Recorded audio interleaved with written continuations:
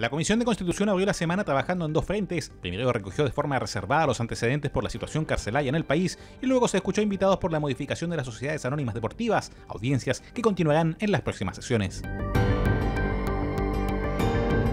Chile, líder en minería verde, se llama la publicación de la mesa temática en la materia respaldada por la Comisión del Senado, académicos y que con la presencia de la autoridad fue valorada en cuanto a la posibilidad de elevar al país como productor en este plano. De hecho, se espera que Hacienda pueda recibir a los autores del libro y sus propuestas.